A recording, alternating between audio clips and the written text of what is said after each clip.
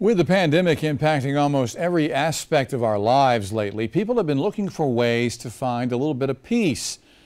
On the top of a mountain in the upstate, people from all over the country have traveled to find Pretty Place, seeking a moment of rest and reflection to think about life in a different way.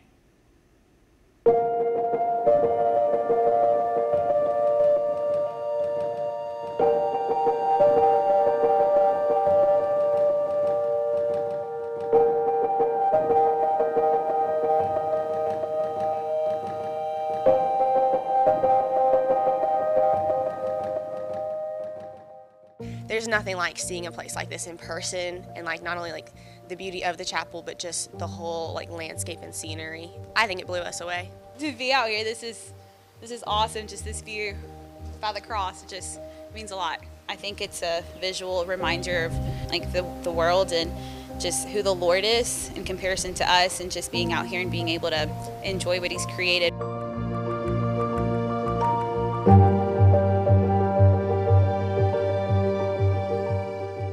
On a daily basis, we see somewhere around 400 cars and visitors at Camp Greenville on any given day. Pretty Place for me is a place where people can experience a bit of solitude, um, a bit of connection with Creator, with creation, and it, it's an opportunity for anybody of any faith, of any background to come, sit, and just um, refresh and reconnect with themselves and the world around them.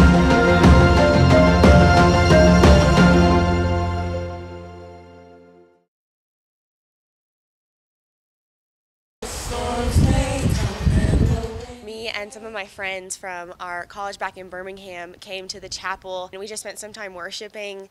It's a chapel, there's Bible verses written all over, so it was really powerful to just not only like praise God and read his word, but just get to spend time in his creation. Just really pretty. It's nice. It's like a relaxing place. I guess just for the views and just to relax.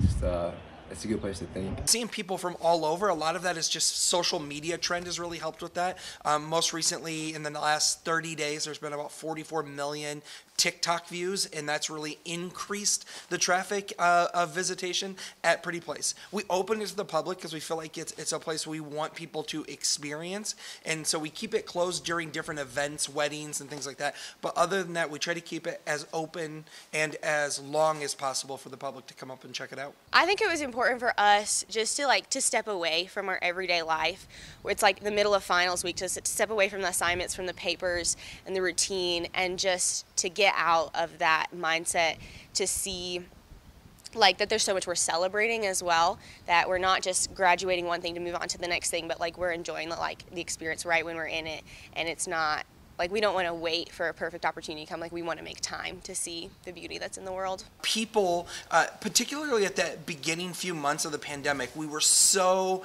um, cooped in and closed in and we were for good reason. Um, and we found that there was really kind of this healing principle of nature. When you got outside and you were out hiking and walking and finding ways to do that distanced and safely. Um, and Pretty Place was definitely one of the places that um, thousands and thousands and thousands of people wanted to come to and, and be a part of and just sit and get outside and experience some of that healing.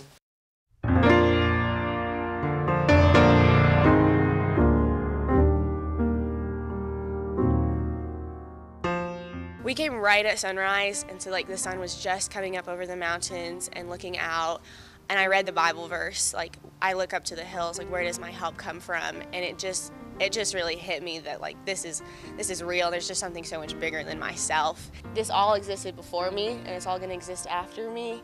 And so like the time that i get to spend here like it's so small but yet it's incredible that i get to be a part of something so beautiful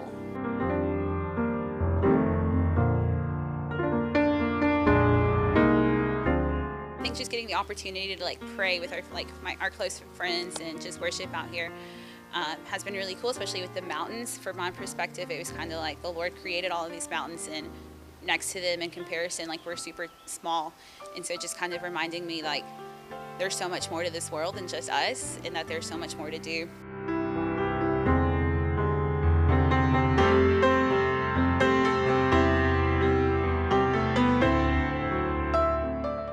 Sunrise is a place that really does change people's lives. We read about it all the time, um, mostly in like social media comments. We do read comment after comment about how special this place is.